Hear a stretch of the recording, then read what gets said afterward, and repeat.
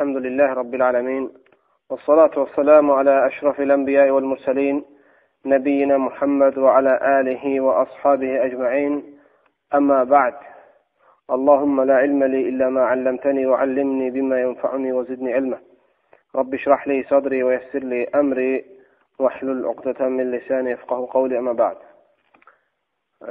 Öncə sizin hamınızı Allahın salamı ilə salamlayıram. Selamun Aleyküm və Rəhmətullahi və Barakatuhu. İnşallah dərsimiz təkrar davam, etməkdədir. Bugünkü dərsimiz e, vaxtı, vaxtla təyin olunmuş dərsdən kənardır. Sadəcə və sadəcə e, bugünkü dərsimiz tövsiyədən ibarətdir. E, bütün müsəlmanlara hər fərdi şəkildə və cəmaat şəkildə vacibdir ki, bir-birlərinə haqqı tövsiyə eləsinlər. Bir-birinə doğruya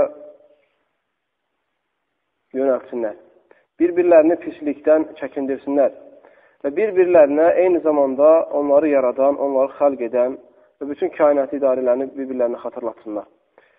Çünki əgər insanlar, möminlər bir-birlərini xatırlatmasalar, o zaman imanları kamilləşməz və özləri də İslamda sabit qalmazlar. Necə ki, Peyğəmbər sallallahu aleyhi ve sellem Peyğəmbər sallallahu aleyhi ve sellemin sahabələrinin dilindən gəlib ki, elə düşünür ki, özü münafiqdir. Yəni, öz imanında şübhəyə düşür ki, yəqin ki, bu münafiqliyin əlamətlərindəndir. Peyğəmbər s.ə.və gedir imanından şikayət etmək istədikdə yolda Abu Bakr radiyallahu anhu ilə e, rastlaşır və deyir ki, ney Abu Bakr, mən içimdə belə bir hissiyyət vardır. Peyğəmbər s.ə.v yanına getdikdə, onun sözlərinə qulaq asdıqda və onu dinlədikdə imanım artır, deyir. Və evə gəl gəldikdə, arvad uşağa qarışdıqda, dünya malına girişdikdə imanım deyir, azalır. Və elə bilirəm ki, deyir, münafiqam. Abu Bakr radiyallahu deyir, mən də özümü elə hiss eləyirəm. Və hər ikisi bir yerə gəlir, Peyğəmbər s.ə.v yanına gedirlər və Peyğəmbər s.ə.v həmin e, vəziyyəti, həmin əhvalı danışdıqda Peyğəmbər s.ə.v onlara deyir ki, xeyr, bu münafiqliyin əlamətindən deyil. Bəli, siz mənim yanıma gəldikdə eşidirsiniz nəsiyyəti, tövsiyə və iman artır. Deməli, bu hədis, bu qıssə, bu hadisə bizi bizə onu göstərir ki, deməli, insanın sabit olma səbəblərindən müsəlman müsəlmana tövsiyəsidir. Ona görə biz bundan heç zaman əsirgəməməliyik.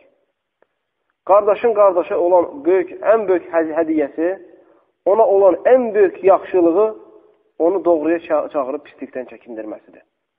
Ona görə bu kafirlərdə olmadığına görə onların arasında məhəbbət yoxdur.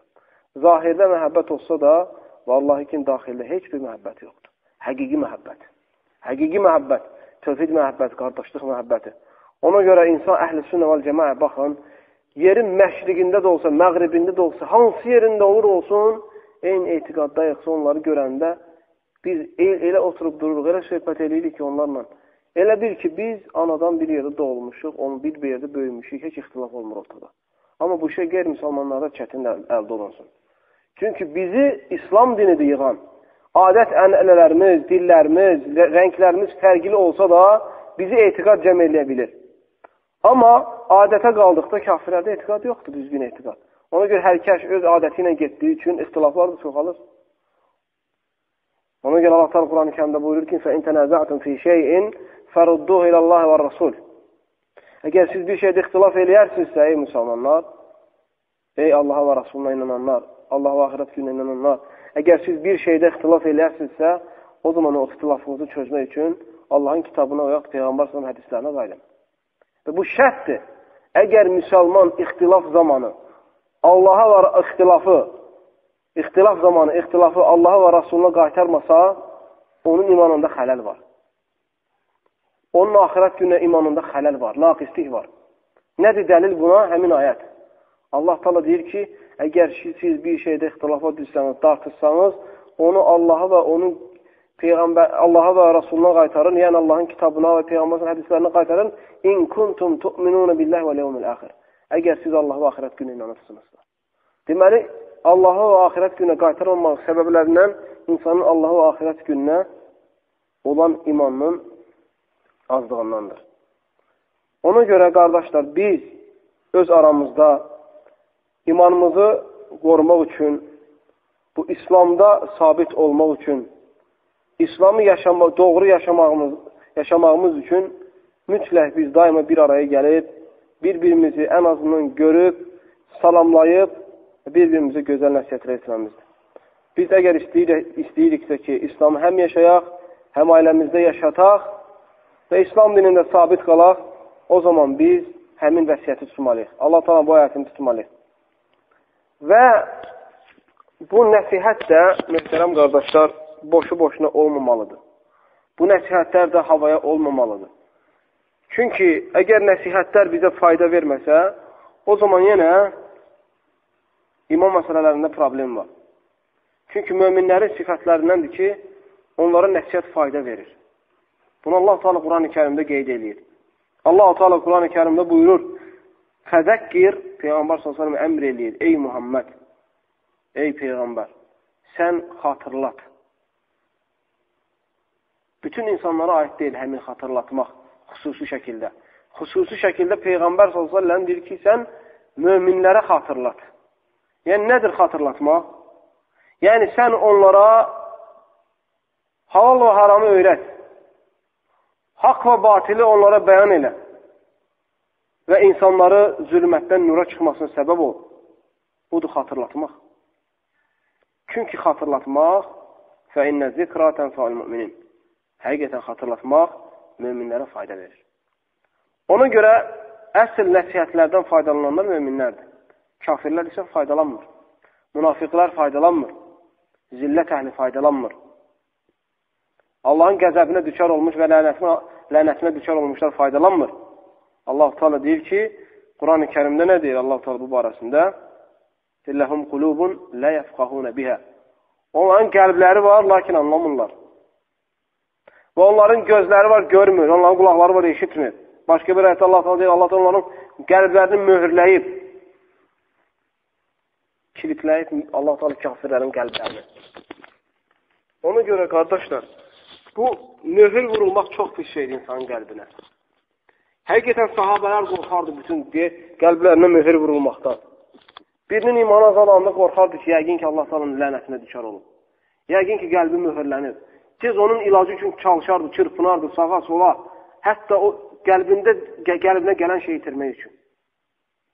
Amma biz müsəlmanlar, bugünkü gündəki bəzi müsəlmanlar şübhəyə də düşür, şəkə də düşür, iman da azalır, sabit də ola bilmir və yenə özündən razı şəkildə yaşayır. Və belə olmamaq lazımdır. Mütləq insan xəstələnəndə həkimə gedib, müraciət etdiyi kimi bədəni xəstələnəndə. Eləcə də insanın imanı, etiqadı, ruhu xəstələnəndə mütləq elməhlə müraciət etməlidir. Mütləq Allah talanın yer üzündə təyin etdiyi həkimlərə müraciət eləməlidir. Çünki ruh xəstəliyi, iman xəstəliyi, etiqad xəstəliyi bədən xəstəliyindən çox pisdir. Ona görə ki, bədən xəstəliyi sadəcə və sadəcə insanı dünyadan götürür. Dünyasını itirir sadəcə insan. Amma etiqad, inanc xəstəliyi, ruh xəstəliyi isə insan həm dünyasını zay eləyir, həm də axirətini. Ona görə ruh xəstəliyi daha pisdir. Və biz bu fitnə fəsad, bu fitnənin yayılmış bir dövründə yaşadığımıza görə bizim daha çox ehtiyacımız var. Bir araya tez-tez gəlib, bir-birimizə doğruyu tövsiyə eləyək, bir-birimizi yaxşılığa çağıraq və bir-birimizi pislikdən uzaqlaşdıraq. Və eyni zamanda müsəlmanların, e, möminlərin sifətlərindəndir ki, nəsiyyət olunduğu zaman qulaq asmaq. Rədd eləməmək, başından o tərəfə eləməmək və eyni zamanda nəsihət zamanı kimisə təhqir eləməmək. Sadəcə o demək deyil ki, alimlər nəsihət eləməlidir. O demək deyil ki, sadəcə elm əhli nəsiyyət eləməlidir.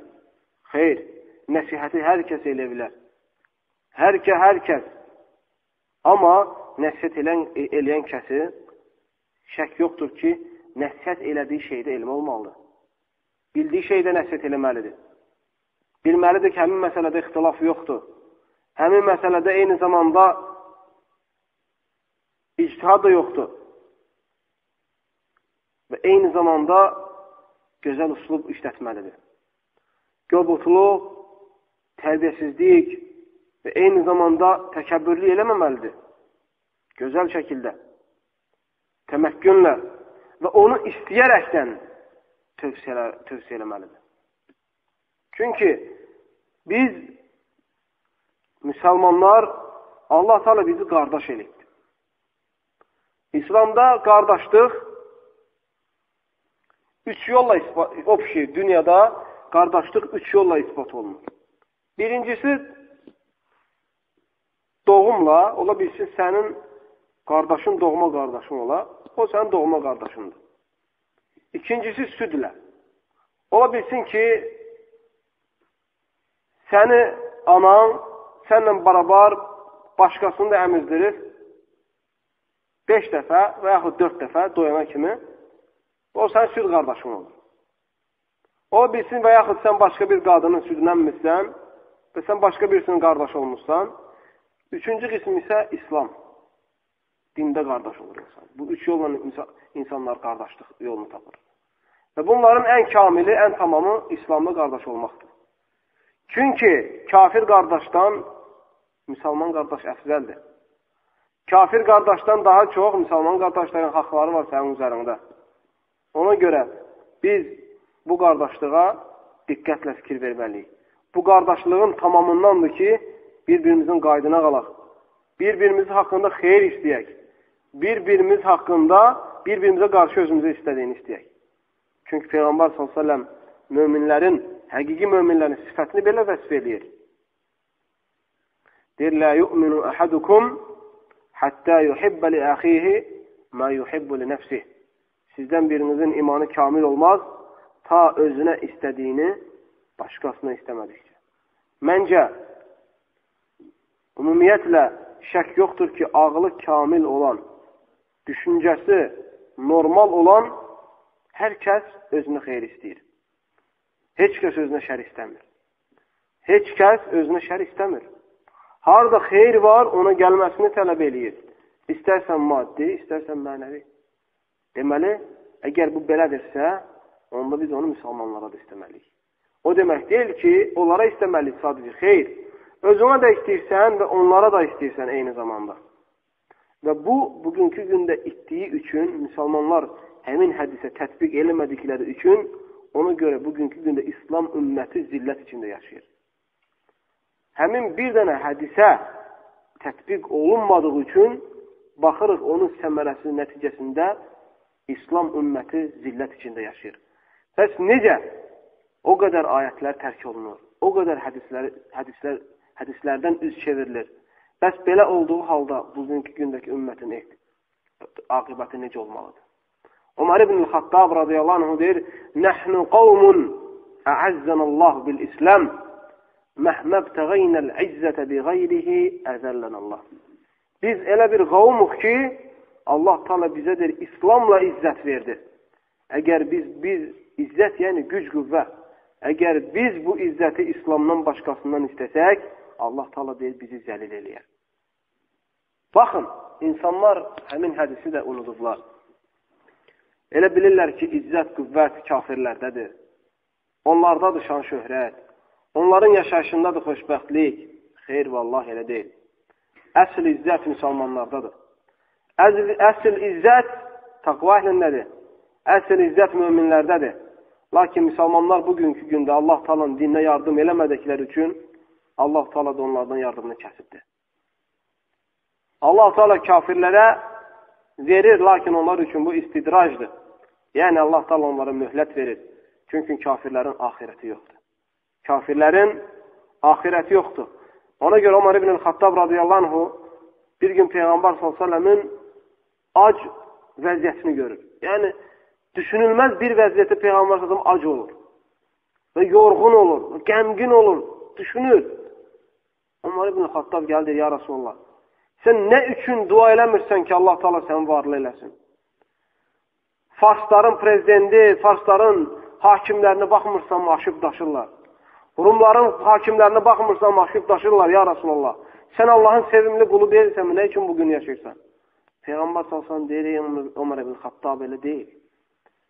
Vallahi deyir, elə deyil.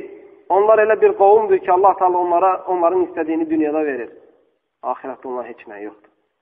Ona görə biz əsas ahirətdir bizi düşündürən. Bu dünya deyil hər şey yığsaq da, dünyada bütün mala, mülkə, sərvətə sahib olsaq da, Allahın yazdığı əcəl gəldikdə bizi nə bir saat əlindən ala bilər, nə də gecikdirə bilər. Heç vaxt. Onun üçün, qardaşlar, biz bu dünyada xəlq olunmuşuq Allah talan təkləməkdən ötürü. Körpüdür bu dünya. Necə hədisdə gəlmişdir. Qonaqsan, qonaq insan bir evə gedərsə orada çox otmaz. Və eyni zamanda başqa bir rivayətdə gəldiyi kimi sadəcə və sadəcə kölgədə günəş ortaya qalxanda ağaclarda kölgə olur. Kölgənin altında biraz istirahət eləmiş adam kimisə. Birazdan gün batır, kölgədə itib gedir. Və sənin dövrün sadəcə bu dünyada odur. Ondan da daha azdır. Bir balaca yaşayacaqsan, heç bilmirsən. Elə zənn eləmə ki, sən yaşayacaqsan 100 il, 200 il. Və belə şeylər düşünmə. Çünki bu kafirlərdədir belə düşüncələr ki, ən çox yaşayan olacaq. Ən güclü insan olacaq. Heç xəstələnməyəcək. Əbədi yaşayacaq. Bu kafirlərdədir. Bizdə elə deyil. Müsəlmanlarda elə deyil. Müsəlmanlar hər saniyə ölümü gözləyirlər. Hər zaman göz gələ bilər. Lakin Allah Taala ölümün vaxtını, həqiqi vaxtını hər kəsdən gizləyibdir. Onun üçün qardaşlar, biz Allahın izzətini qazanmaq üçün ən birinci özümüz İslamı yaşamalıyıq ki, özümüz İslamı yaşamalıyıq ki, hətta başqaları da yaşasın. Biz o kəslərdən olmam olmamalıyıq ki, deyirlər ki, İslam ümməti belə eləməlidir, belə eləməlidir, amma özümüz eləmirik. İslam ümməti bizi kimi parçalardan ibarətdir. Hər kəs bugünkü gündə özündən, özünü unudub başqalarını düşündüyü üçün bugünkü gündə insanların çox şəriət tətbiq eləmir. Tamamilə. Ona görə bugünkü insanlar tamamilə müsəlmanların çoxu tamamilə şəriət tətbiq eləmir. Hər kəs elə bilir ki, başqası eləməlidir şəriəti. Yox, ona aid deyil. O birisilər belə olmalıdır. Xeyr. Sən özün yaşa ki, başqasını yaşayasan. Başqasına yaşadasan. Ona görə budur əsl. Əsl budur. Peyğəmbər sallallahu aleyhi ve sellem peyğəmbərlik veriləndən sonra ən birinci ailəsindən başladı. Zövcəsi Xədicə radiyallahu anhədən. Və Allah Taala onu bəyan elədi ailəsindən başda deyə. Allah Taala Quran-ı Kərimdə buyurur: "Və ənzir aşiratakal aqrabin." Ən birinci ayət bu yəni. İqra ayəsindən sonra. İqra ayəsindən sonra bu ayət nazil oldu. Və ənzir aşiratakal aqrabin. Sən öz yaxınlarına Allahın sana nazil etdiyini çatdır. Peyğəmbər sallallahu başladı Əmsabu Talibdən, başladı Abbasdan, başladı zövcəsi Xədicədən və ətrafındakılardan başladı. Və onlardan sormasına ətrafındakılar lazımınca Peyğəmbər s.ə.v çatdırdıqdan sonra Allah-u Teala nazil etdi başqa ayət. Fasda' bimə tu'mar və a'rid anil müşrikin. Sənə nazil onları, olanı onların kəllələrinə çatlat. Sənə nazil onları onlara deginən və sən müşriklərdən üz çevir. Sonra Peyğəmbər s.ə.v Qureyşi topladı, Safa dağına çıxaraq onları Allahın endirdiyi, endirdiyi ilə qorxutdu. Allahın əzabı ilə onları qorxutdu. Və onları sirkələdi biraz. Və həmin metoddur bugünkü gündə hər bir müsəlmana vacib olan. Dünya həyatında. Birinci, müsəlmana vacib olan şey özünü sonra ən yaxınını cəhənnəmdən qurtarmaqdır.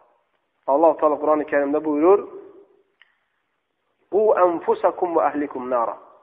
Ey müsəlmanlara, özünüzü və deyir ailənizi cəhənnəm ateşindən qurtarın. Hansı ateşdir o? وَقُودُهَا vel وَالْحِجَارَ Hansı ki, orada yananlar sadəcə insanlar və daşlar olacaq. Cəhənnəmdə odun olmayacaq. Belə, yəni bu dünyavi odunlar var. Peçə qoyub yandırırıq. Xeyr. Cəhənnəmdə odun şəklində daşlar yanacaq. Bir də insanlar yanacaq. Cəhənnəmi ateşləndirən daşın malı bir də insanların malı olacaq. O, ondan Allah Taala deyir ki, özünüzü və ailənizi çəkindirin. Budur bizim üzərimizə bugünkü gündə vacib olan. Və biz bunun haqqını verdikdən sonra ola bilsin ailələrimiz, yaxınlarımız qəbul eləməyə. Bu o demək deyil ki, onlar qəbul eləməsə başqalarına keçmək olmaz. Xeyr. Əgər biz onların haqqında, onların üstündə yaxşı dururuq, əmələ gəlmir və eyni zamanda da başlayırıq sonra ətraflara yavaş-yavaş dəvəti yaymağa. Və belədir. Çünki Peyğəmbər s.ə.v-in ətrafların, ətrafında olanlar, qohum əqrabasından Nə qədər qəbul eləmədi. Əmisi Peyğəmbər Abdülmuttalib qəbul eləmədi. Peyğəmbər s.ə.v ətrafında qalan Əbu Cəhəl qəbul eləmədi.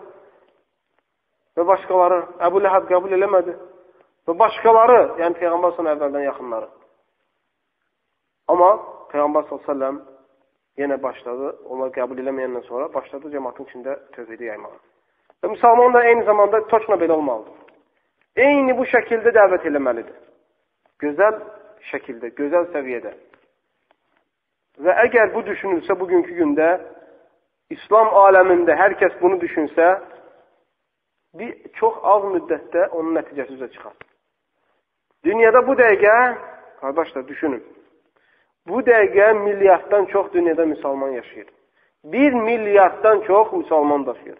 Əgər bir milyard müsəlman arzusu olsa ki, dəvət eləsin, əlində kimsə hidayət olunsun, hər adamın əlində həyatı boyu bir adam hidayət olunsa, bir il boyunda, bir ildə adamda, adamın əlində bir adam hidayət olunsa, birlər nə qədər müsəlman olar? 2 milyard müsəlman olar. Yəni, 1 milyard müsəlman var. Bir il ərzində hər müsəlman bir insanın hidayətinə səbəb olsa, dəvət eləsə, bir ildə neçə müsəlman olacaq? 2 milyard. O bilsə ki, ikisində əmək şey olsa 4 milyar. Deməli, 5-6 il içərisində deməli, bütün dünya nə olar? Nə olar? İslam alimi olar. Lakin bu düşüncə itdiyi üçün bu şey əmələ gəlmir. İnsanlar üz çevirdilər dəvətdən. Əslində müsəlmanların çoxuna baxsaq elə özü yaşamaq istəmir. Özü gözəl şəkildə necə lazımdır İslam yaşamır. Meyl eləyir kafir, kafirlərin kulturasına. Qeyri-müsəlmanların kulturasına elə bilir ki, kamillik onların kulturasındadır. Onlar kimi ailə qurmaqdadır. Elə deyil vallahi. Görmüşük bunların bəzilərini müsəlmanlardır. Bəzilərini eşitmişik. Və şahid olmuşuq bəzilərinə ailələrində başqa cür həyat yaşamağı düşünürlər. Nə bilim, geyinişlərində başqa geyinişlər istəyirlər. Və elə bilirlər ki, budur həqiqi İslam ən gözəlliyə, ən təmizliyə, ən doğruluğa İslam dinimizi çağıran möhtərəm qardaşlar. Ona görə müsəlman, hər bir müsəlmana fərdi şəkildə, hər bir müsəlmana fərdi şəkildə vacibdir ki, təkrar-təkrar mən bunu həmişə söyləyirəm. Çünki bu önəmlidir. Peyğəmbər s.ə.v bir şey önəmli olduğu zaman onu üç dəfə təkrarlayardı. Bir, iki, üç dəfə təkrarlayardı. Hətta sahabələr Peyğəmbər s.ə.v sözünə diqqət yetirsinlər deyə. Ona görə mən bunu hər dərs sizə tövsiyə edirəm. Hər zaman bütün qardaşlara bunu tövsiyə edirəm, çünki bu məsələ çox önəmlidir. Bütün müsəlmanlara cəmaat və fərdi şəklində dinlərini necə lazımdır öyrənmək, çalışmaq lazımdır ki, hətta İslamda sabit olsunlar. Baxırsan, maşallah, müsəlmanlar aslan Bəzi müsəlman aslan kimidir dünyavi məsələlərdə. Amma dini məsələlərdə çox zəifdir. Ağlı var, zəkası var. Nə qədər baxırsan, başqa-başqa faydasız şeylər bilir. Amma şəriət məsələlərindən sıfırdır. Və bununla yetələnmir. Çünki hə, hamımız cahil olmuşuq. Heç kəs anasından peyğəmbər olaraq, alim olaraq doğulmur. Sözsüz ki, İsa aleyhissalam istisna. Heç kəs anasından alim olaraq doğulmur. Hər kəs öyrənir. Ona görə problemlər, problem oradadır ki, müsəlmanlar cahil olduqları halda İslamı öyrənmək istəmirlər. Axtarmırlar.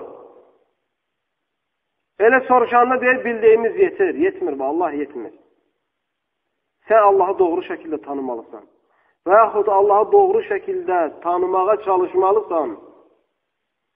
Necə ki, sələflər deyir ki, Mən a'rafu billahi əxşələhu.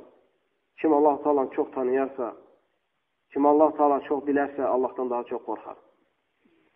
Çünki bizdə çatışmayan şey biz tanımıq Allahı yaxşı. Allah Taala gözəl şəkildə dəyərləndirmir, onun qiymətə qoymur. O haqqını ona görə də yerinə yetirə bilmirik tamam şəkildə. Ona görə acizik Allahın əmrlərini yerinə yetirməkdən. Çünki tanımırıq. Necə lazımdır. Ona görə Allahı hər kəs tanımağa ehtiyacı var. Hər bir insanın Allahı tanımağa ehtiyacı var. Və bu da boşu boşuna olmur, möhtərəm qardaşlar. Bir az zəhmət çəkməlisiniz. Bir az həyatınızdan bölüb elm oxumağa vaxt sərf eləməlisiniz. Çox yox, az, bir az ki, hətta Rəbbimizi tanıyaq və onun haqqını yerinə yetirməyə çalışaq. Və bunun yeganə vəsiləsi də eyni zamanda Allahı tanımağın, yəni yeganə vəsiləsi isə Allahın endirdikləri, nazil, nazil etdiklərinə möhkəm yapışmaq. Yəni kitab və sünnətdən möhkəm yapışmaq. Sələfus salihin kitab və sünnəti necə şərh eləyib, şərhlərindən möhkəm yapışmaq. Və onların bizə anlatdığı kimi şəriəti anlamaq, başqalarının deyil. Danışanlar çoxalıbdır, kitab yazanlar çoxalıbdır, kaset buraxanlar çoxalıbdır. Amma onların çoxları kitab-ı sünnət üzrə, sələf-ı salihin anlayışı üzrə deyil. Bunların hamısı bəziləri həvəsdir, insanlar həvəsləndirirlər, coşdururlar və bəziləri də eyni zamanda zəlalətə aparır. Dəva oradadır ki, bugünkü gündə baxırsan qazetlərə, jurnallara, televiziyalara, radiolara.